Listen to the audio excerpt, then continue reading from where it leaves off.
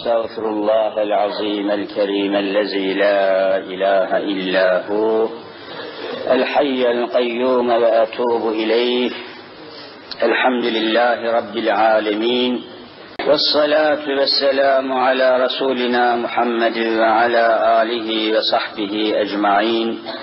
أعوذ بالله من الشيطان الرجيم. بسم الله الرحمن الرحيم. رب اشرح لي صدري ويسر لي أمري. واحلل عقدة من لساني يفقه قولي. آمين. بحرمة حبيبك الأمين. أما بعد فالأول الله والآخر الله والظاهر الله والباطن الله. فمن كان في قلبه الله فمعينه في الدارين الله. فمن كان في قلبه غير الله. فخصمه في الدارين الله لا إله إلا الله هو الحق الملك المبين Muhammedur Resulullah Sadıkul Vaadil Emin. Muhterem müminler, aziz Müslümanlar, yine dop dolu meseleler, olaylar, hadiseler olanca süratiyle Müslümanların etrafında halkalanarak, Müslümanların civarında dalgalanarak devam ediyor. İçinde bulunduğumuz mübarek ay Muharrem ayıdır. Başlı başına sohbet yapılması gereken bir mevsimdeyiz, aydayız, zamandayız. Bununla beraber daha birçok meseleler birbirine bağlı olarak devam ediyor. Kısaca Muharrem konusuna temas ederek bununla bağlantılı olarak diğer konuları da topluca ezan-ı Muhammediye kadar sohbetimizi, dersimizi arz etmeye çalışayım. Allahu Teala cümlemizi rızasından, rahmetinden, feyzinden, bereketinden mahrum bırakmasın inşallah. Muharrem ayı oldukça tarihi eskilere dayanan adeta nasıl ki insanlığın tarihi ve Müslümanlığın tarihi Hazreti Adem aleyhisselam ile başlıyorsa Muharrem ayının da tarihi aynen böyle eski ve çok kıdemli bir ay. Muharrem. İnsanlığın ve İslamlığın, Müslümanlığın, İslamiyetin tabi başlangıcı Hazreti Adem aleyhisselam ile olduğunu hepimiz yakinen biliyoruz. İslam'ın tarihi dolayısıyla kiminle başlıyor siz söyleyin? Hazreti Adem aleyhisselam ile başlıyor. Ondan sonra gelen bütün peygamberler tevhid akidesini getirmiş olmakla İslam'dan başka bir dinin, İslam'dan başka bir davanın temsilciliğini yapmamışlar. İnne dine indallahil İslam hükmü peygamberden peygambere taşınmış. Elden ele verilen bayrak gibi bu dava 124 bin peygamberin eliyle en son ve en mükemmel peygamber rahmeten lil alemin sıfatını Allahu Teala'nın kendisine ikram ettiği Hazreti Muhammed Mustafa sallallahu aleyhi ve selleme kadar gelmiş. Ve kıyamete kadar da devam edecek. Ve inşallah yeryüzündeki Müslümanlar bu davayı kıyamet sabahına kadar götürmenin mücadelesi içinde olacaklar ki zaten şimdi dünyada da geçen ders arz etmiştim. En büyük mücadele, en büyük kavga bu konu etrafında, İslam etrafında yoğunlaşıyor. Dünyanın neresinde bir toplantı varsa, dünyanın neresinde insanlar bir araya geliyorlarsa, artık dünya tabii bugünkü teknolojinin bugünkü teknik vasıtaların, teknik ürünlerin sonucunda dünya adeta bir avuç gibi her şey anında duyuluyor, görülüyor, takip ediliyor, gizli bir şey kalmıyor, kapalı bir şey kalmıyor, karanlık bir şey kalmıyor. Küçüldü dünyamız adeta. İletişim vasıtalarının çokluğu, haber vasıtalarının çok süratli oluşu, çok oluşu sebebiyle dünya insanları sanki müşterek bir zemindeymiş gibi yaşıyorlar ve her şey anında yayılıyor, duyuluyor. O bakımdan daha rahat konuşabiliyoruz. İslam bugün dünyanın her tarafında konuşulan her tarafında üzerinde tartışılan bir dava haline gelmiştir. Asrın en büyük sadası yani 20. 20. asrın bitmesine 21. asrın da başlamasına 5 sene kala şu anda dünyanın en büyük sadası, en büyük sesi, en büyük davası, en çok konuşulan meselesi elhamdülillahi teala İslam olmuştur. Yani yine inne dine indallahil İslam. Başka bir şey yok. Ancak tabi bu dava geçen derste arz ettiğim gibi hicret sebebiyle Muharrem ayı malumunuz aynı zamanda hicret-i Muhammediye Allahümme salli ala Muhammed hicret ayıyla alakalı bir cephesi de var arz etmiştik. Çileyle dolu, zahmetle dolu, mücadele, mücadelelerle dolu, mahrumiyetlerle dolu bir İslami mücadelenin aylarından bir tanesi hicret ayı, Muharrem ayı. Bu dava her ne kadar Hazreti Adem'den günümüze kadar devam eden bir dava ise de mücadele isteyen, durmak bilmeyen bir mücadeleyi gerektiren çok mukaddes bir dava. Onun için bugün dahi dünyanın neresinde meydana gelen hadiseler, patlamalar, bombalamalar, mücadeleler varsa dolaylı veya dolaysız İslam'la, İslam'ın önünü kesmekle alakalı birçok hareketler olarak karşımıza çıkıyor. Ve şimdi dünyada olayları eğer dikkatle, ibretle takip ediyorsanız en tehlikeli oyunlar, en ciddi kavgalar, en müthiş hesaplar, planlar Türkiye üzerinde yapılıyor şu anda. Alemi İslam'ın yüzlerce sene bayraktarlığını yapmış, halifeliğini yapmış, fatihliğini yapmış, mücadelesini taşımış, Avrupa'nın hemen tamamına İslam'ı, tevhidi taşımış bir milletin torunları olarak bütün ehli küfrün hesapları en ziyade bizim üzerimizde yoğunlaşıyor. Üzerinde bulunduğumuz toprakları, üzerinde bulunduğumuz şehri, İstanbul'u düşünün, işin ciddiyetini anlayacaksınız. Böylece Muharrem ayının tarihini ve eskiliğini, kökünün Hazreti Adem'e, Hazreti Nuh'a ve Ülül Azim dediğimiz peygamberlere dayanan çok köklü bir ay olduğunu ifade ettikten sonra kısaca malumat verip öbür hususlara geçeyim. Efendiler, müminler, kardeşler, Muharrem'in 10. günündeyiz. Bu 10. gününe bildiğiniz gibi ne diyorlar, ne isim veriyorlar? Aşure günü. Yevmi aşura. Yev, yevm gün demek, yevmi aşura, aşura günü deniyor. Nereden kalmış, nasıl gelmiş, nereden bu ismi almış? Hemen hemen az çok bu konuyu merak edenler zannediyorum bu husustaki bilgileri edinmişlerdir. Ama kısaca arz edeyim. Daha ziyade bu isim aşure günü, yevmi aşura dediğimiz bu isim Hazreti Nuh aleyhisselamın zamanından kaldığı anlaşılıyor. Biliyorsunuz Hazreti Nuh aleyhisselam Hazreti Adem aleyhisselamdan sonra yeryüzündeki beşeriyetin ikinci babası. Kur'an'ın ifadesine göre zaman zaman da ibret olsun diye söylüyoruz. Lebise fihim elfe senetin illa hamsine amen ayet-i ilahiyesinin verdiği habere göre Nuh aleyhisselam peygamber olarak gönderildiği kavmin, milletin içinde 50 eksik bin sene kalmış. Kur'an-ı Mübin böyle ifade ediyor. 50 eksik bin sene. Ne yapar toplam olarak? 950 sene. Elfe senetin Arapça elfe bin demek. Elfe sene bin yıl illa hamsine. 50 eksik bin sene kalmıştır. O da peygamber olarak. Yani esas kendisinin yaşı belli değil.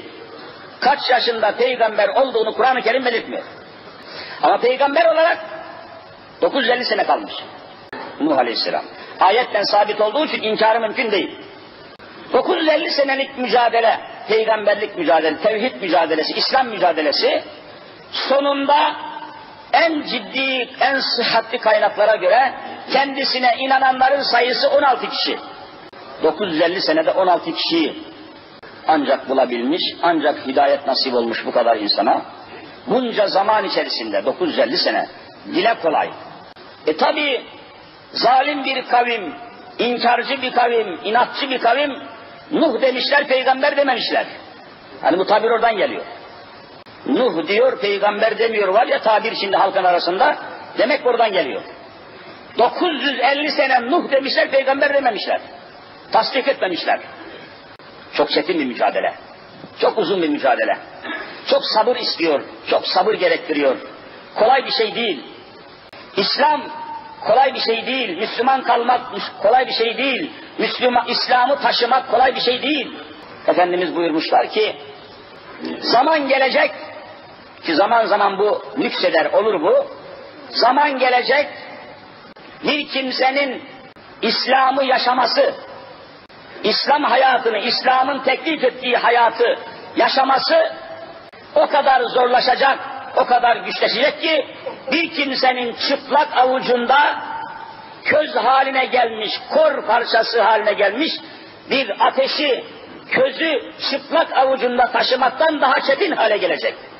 Hadisin metninde aynı öyle var. Yani avuçlarının içinde, çıplak avuçların içerisinde ateş parçasını taşımak ne kadar zor ve zahmetliyse İslam'ı taşımak da aynen öyle zahmetli olacak.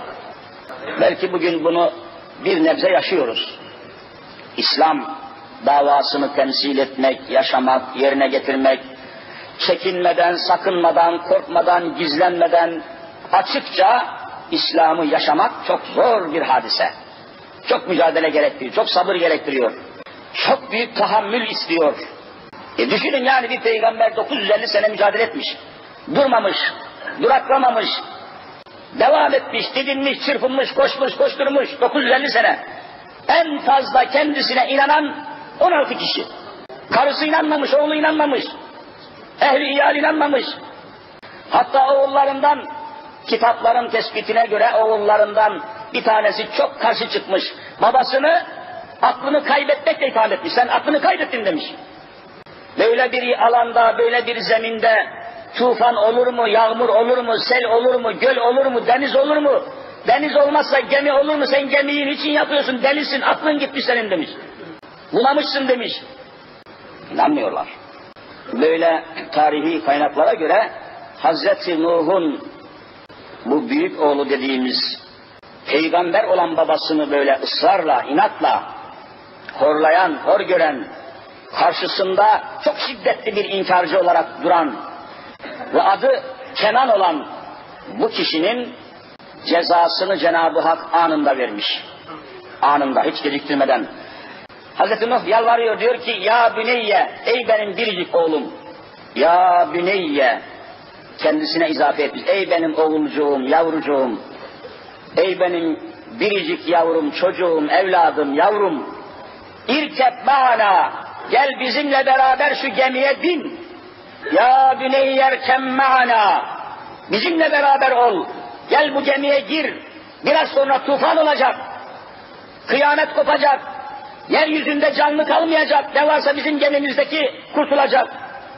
Dediyse de yalvardıysa da oğlu diyor ki Seavi ila cebelin yasımuni Görmüyor musun diyor karşıda muazzam bir dağ var. Arapça cebel dağ demek. Ben o dağa tırmanırım arkamdan diyor tufan mufan gelemez. Beni kimse yakalayamaz. Yasımuni beni bu dağ korur diyor. Dağlara sığındığını ve Allah'ın varlığına, kudretine, birliğine inanmadığını ancak gözüyle gördüğü dağa sığınacağını ifade ediyor. Ne ahmaktır, ne aptaldır ki o dağları da yaratanın Allah olduğundan haberi yok. Tam bu esnada bir korkunç bir gazap geliyor, dalga geliyor ve gözünün önünde Hazreti Nuh'un oğlunu çatır çatır boğuyor. Hiç aman vermeden, zaman vermeden. Cezası anında geliyor. Babalık şefkatinin şiddetine bakınız ki bir anda nübüvvet sıfatını bırakarak übüvvet yani babalık sıfatıyla birdenbire merhamete gelip Ya Rabbi bu boğduğun insan benim oğlum, benim ciğerparem, benim neslimden, benim zürriyetimdendir. Niçin gözümün önünde bunu cezalandığın der gibi bir hal içine girer girmez Cenab-ı Hak şiddetle innehu leyse min ehlik O senin oğlun ehlin değildir. Bir daha sahip çıkarsan seni peygamberlikten kovarım. Senin ehlin gemi, gemiye binenlerdir.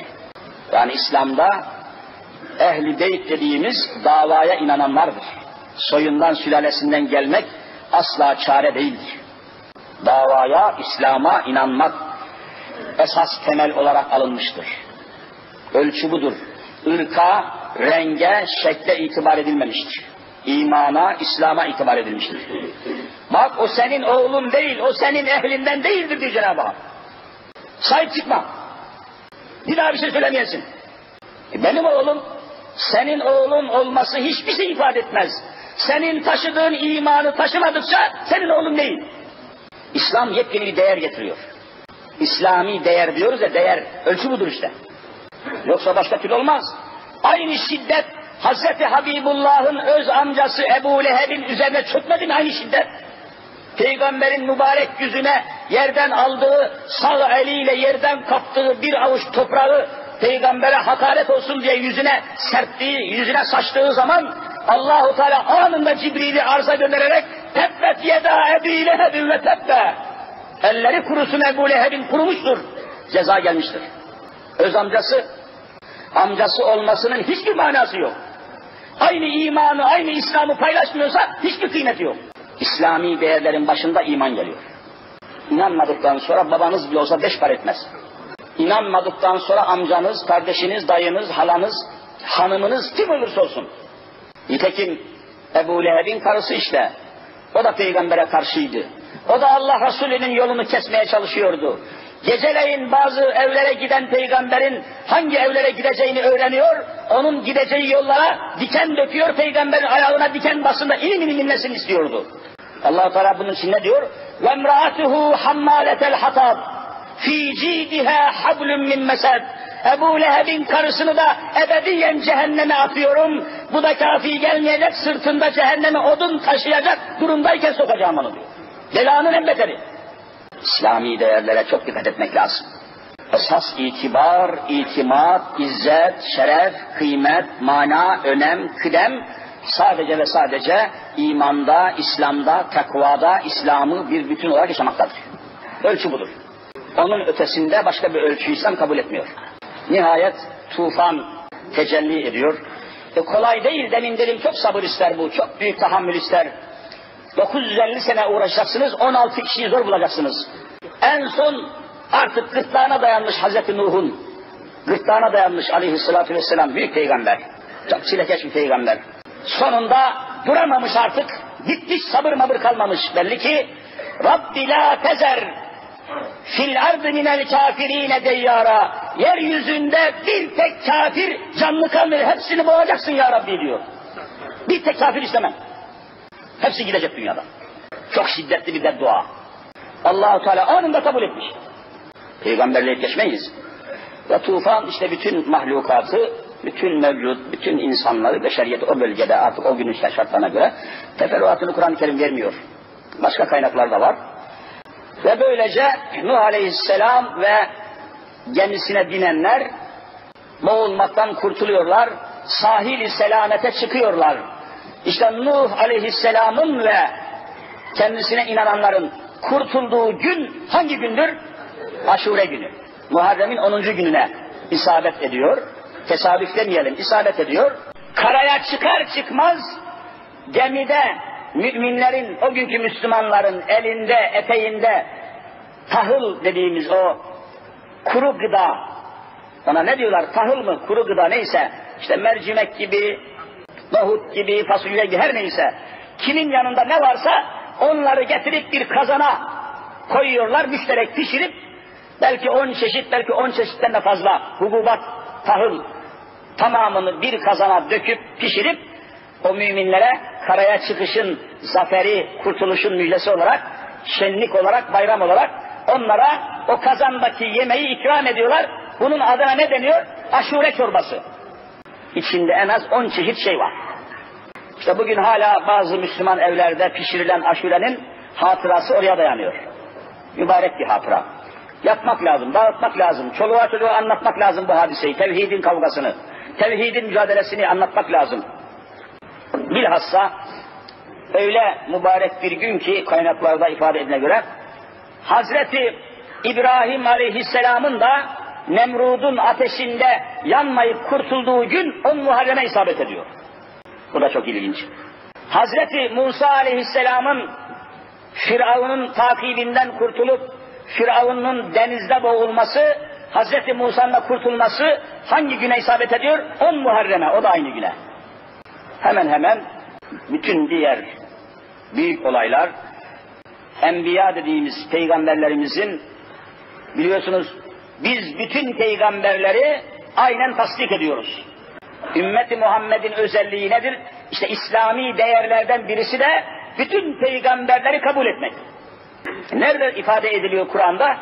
Sık sık yatsı namazlarından sonra imam efendilerin mihrapta okuduğu bir aşri şerif var. Hangisidir? Amener Rasulü diye başlayan mübarek aşir. Orada hepimizin bildiği gibi La nüferriku beyne ahadin min rusulihi var. Ne diyoruz? La nüferriku, ferreka yüferriku tefrika. Yani ayrım yapmak. La nüferriku, ayırmayız. Tefrik etmeyiz, tefrika çıkartmayız. Ayrım yapmayız, ayrıcalık gözetmeyiz. Beyne ahadin min rusulihi. Allah'ın gönderdiği bütün peygamberleri tasdik eder, tefrik etmeyiz. Ne güzel ölçü konmuş. Değil mi ki hepsi Allah'ın peygamberleridir, hepsini kabul ederiz. Ümmeti Muhammed'in özelliği bu. Bakın Hristiyanlar öyle değil. Sadece İsa'yı kabul edenler başka kabul et. Musevi dediğimiz haşa bugünkü Yahudilerin Musevi, Hazreti Musa ile uzaktan yakından bir alakaları kalmamıştır. Biz Yahudiyiz diyenler, Museviyiz diyenler de peygamber olarak sadece İsrail oğullarına gelenleri kabul ederler. Gelmeyenleri siz söyleyin, kabul etmezler. Mesela Hazreti Muhammed Mustafa'yı niçin kabul etmediler? Hazreti Muhammedül Emin İsrail oğullarından değil, tam aksine kimin oğullarından? Hazreti İsmail'in oğullarından. İsrail başka, İsmail başka. Kabul etmediler. Son peygamberi kabul etmediler. Ama ümmeti Muhammed bütün peygamberleri kabul eder. La nüferriku beyne ahadim rusulihi. Özelliğimiz budur. Onun için diyorum ki Kur'an'ın bu getirdiği değere, ölçüye biz de sadık kalalım. Madem ki İslam'ın içindeler, İslam'ı seviyorlar, İslam'ı yaşama gayreti içindeler, İslam'ı müdafaa ediyorlar. Gayeleri İslam, davaları İslamsa biz de bütün cemaatleri sevelim. Kim, hiçbir cemaate atmayalım.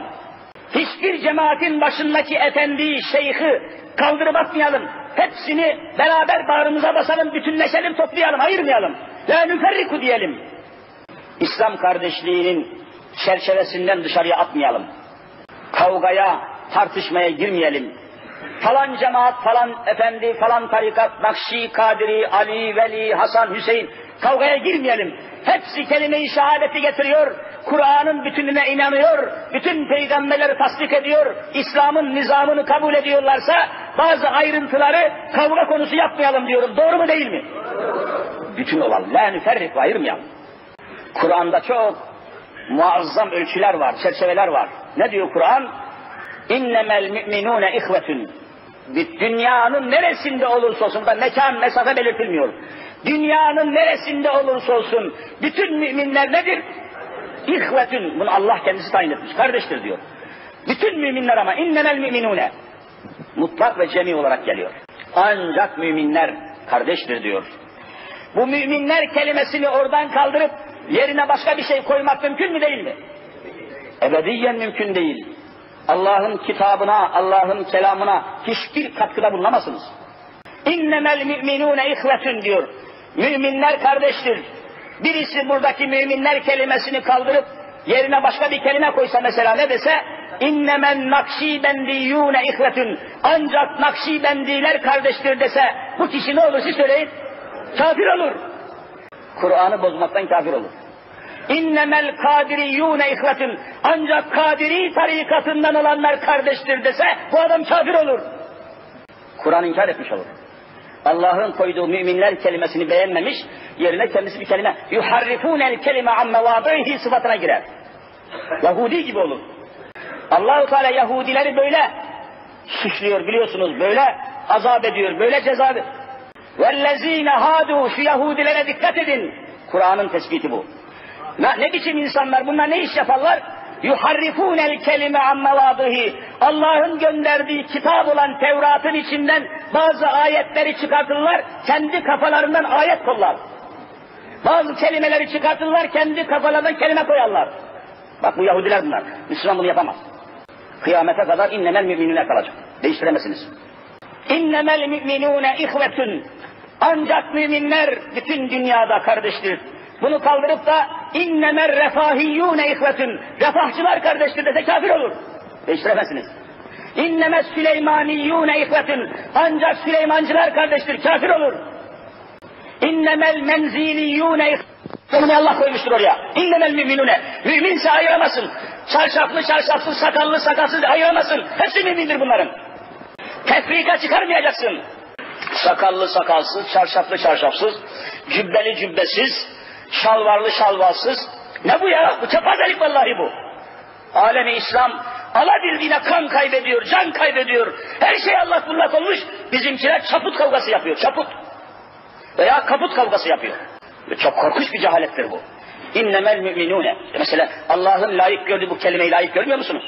Ama ne yazık ki, ne kadar yazıktır ki bunca zaferlerin, peygamberlerin zaferlerinin isabet ettiği bir gün olan 10 Muharrem'e yeryüzünde ondan daha büyük cinayet olmayan bir hadise de aynı gün tecelli etmiş.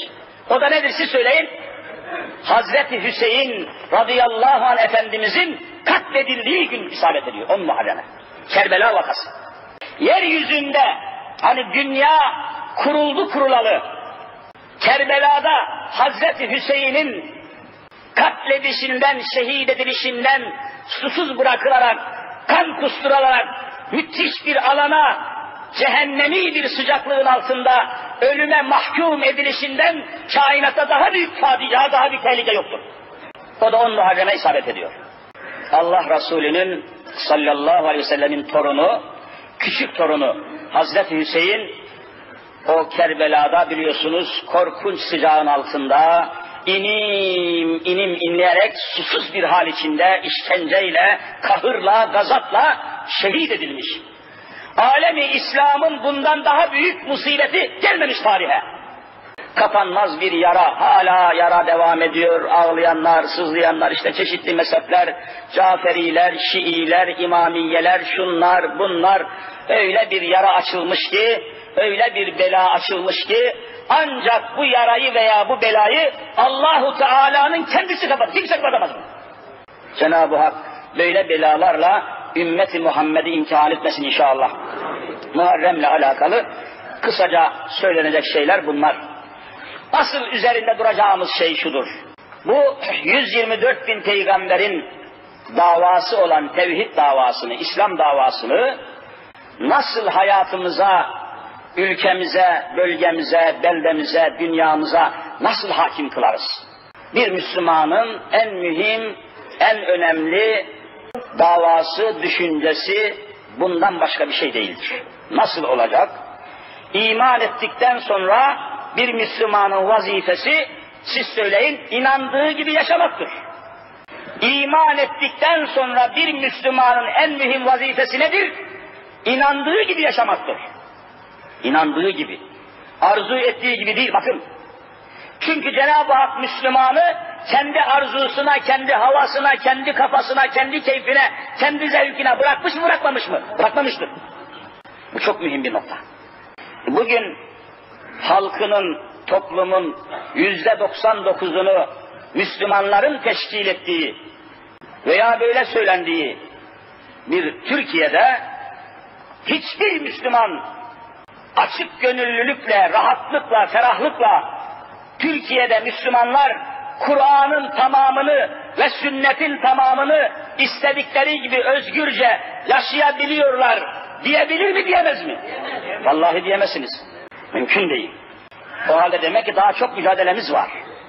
Çok. Çünkü Kur'an bir bütündür. Geçen cuma anlatmıştım. Kur'an parçalanamaz. Kur'an'da bazı emirleri alalım, bazı emirleri göz ardı edelim diyemezsiniz. Bütün emirler, yasaklar, nehiler Müslümanı alakadar. Namazla ilgili ayetleri alalım, faizin haram olduğuyla alakalı ayetleri hiç gündeme getirmeyelim dediğiniz an Kur'an'ı inkar etmiş olursunuz. Mümkün değildir. Kur'an bir bütündür. O zaman Cumhuriyet tarihinde başbakanlık makamına getirilmiş olan Ordinarius Profesör Şemseddin Günaltay'ın haline düşersiniz. O bizzat başbakan olduğu gün ben de o o günkü meclis konuşmasının konuşmasından alınmış zabıtlar var. Aynı konuşması. Harfi harfine. Başbakan olur olmaz meclise teşekkür konuşması yaparken söyle söylüyor. Arkadaşlar diyor biz Müslüman bir milletiz. Ancak İslam anlayışımız çok farklı bizim diyor. Farklı bir anlayışımız var. Biz diyor Kur'an'daki Mekke'de inen ayetleri kabul ediyoruz. Medine'de inen ayetleri kabul etmiyoruz diyor. Şemseddin Günaltay, Erzincanlı Kemahlı. Büyük mürtet, büyük zındık. Hem de medresede okumuş, Arapçası dehşet, fıkıh bilgisi dehşet, korkunç. Ama dünyayı almış, ahireti satmış. Aman ya Rabbi. E Kur'an bölünmez. İman parçalanmaz. Ya tamamını hayatınıza, tamamı yaşanmayan bir davanın parçası yaşanmaz. Arabanızın parçalarından bir tanesi eksik olsa hedefe ulaşabilir misiniz? Mümkün değil. Tamamı olmadıkça İslam hedefine ulaşamaz. Bunu İslam'ın düşmanları çok güzel anlamış. Vallahi bunu İslam'ın düşmanları çok güzel anlamış. Bakın mesela memurların öğlen tatilini cuma namazına göre başlatalım. Kanun teklifine itiraz eden İslam düşmanları ne dediler? Efendim bugün öğlen tatilini cuma namazına göre ayarlamayı kabul edersek arkasından Müslümanların arzularının peş peşe gelmesi başlar. Beş vakit namazı da isterler, şunu da isterler, arkasından şeriat gelir diye adam bağırıyor. Bak adam çok iyi biliyor yani. Bilmeyen bizim ahmak Müslümanlarımız. İslam bir bütündür tabi. Geçen hafta arz ettim yani meclisin açılışını dua ile yapalım kanun teklifi komisyonda reddedildi. Anlattım geçen hafta. Adam ne diyor? Duanın sonunda hani resmi, kanuni bir dua eğer kabul etse kanuni bir dua olacak. Allah meclisimizin aldığı kararları milletimiz hakkında hayırlı eylesin cümlesinde Allah kelimesi geçiyor diyor. Meşhur profesör ismini söylemek istemedim geçen hafta. Komisyonda itiraz etti. Burada Allah kelimesi diyor kanuna geçerse, kanunda yer alırsa arkasından Allah'ın nizamını, Allah'ın kanunlarını isterler, şeriat gelir. Allah kelimesini ben kabul etmiyorum burada diyor. Şu anda profesör milletvekili bu adam. Bakın İslam'ın düşmanları İslam'ın bir bütün olduğunu biliyor fakat Müslümanların çoğu bilmiyor. Bir bütündür. Ya tamamı olur ya hiçbir şey olmaz. Yani Müslümanları sadece efendim beş vakit namazı eda ediniz İslam tamamdır diyemezsiniz. Bu İslam'a Kur'an'a iftira olur. Efendim kıl beşi bitir işi. Bu fevkalade cahil sözüdür, Yahudi sözüdür. Mümkün değildir. Kitabullah'a uymayan bir sözdür. Olur mu böyle şey? Kaldı ki beş vakit namazı bile isteyen istediği yerde eda edemiyor. Bakınız bugünkü gazeteden kestiğim üniversitede rezalet olan bir hadiseyi aynen kelime kelime okuyayım. Ankara'da Hacettepe Üniversitesi'nde kainatın en büyük rezaleti. Bir yazı okuyayım bakın. Resmi yazı. Altında rektörün imzası var. Yazı şu. Hacettepe Üniversitesi'nde okuyan öğrenciler ve öğretim üyeleri namaz kılmak için, namaz kılanlar için üniversitenin içinde bir odayı mescit yapsınlar diye rektörlüğe müracaat etmişler. Dilekçe vermişler.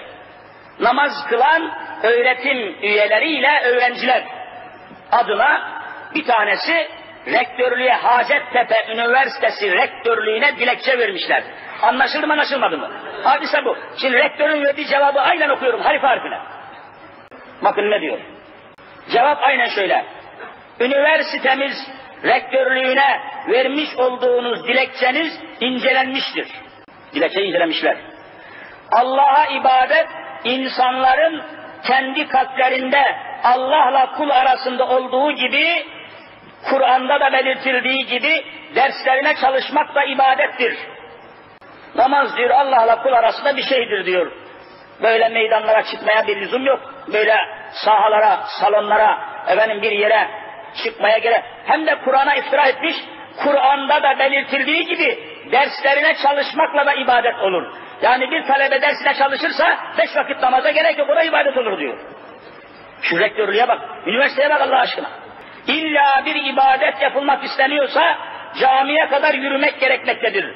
Aksi, aksi halde her mekan yakınına bir ibadet yeri açılması görüşü doğru olsaydı her apartmanda da bir mescit veya cami yapılması gerekirdi. Sizin bu ibadet isteğiniz öğrencilik hayatınızın ve şartlarınızın ötesine geçiyorsa fakülteden çıkacaksınız, eğitiminize ilahiyat fakültesinde devam edeceksiniz. Burada namaz kılmaya müsaade edilemez.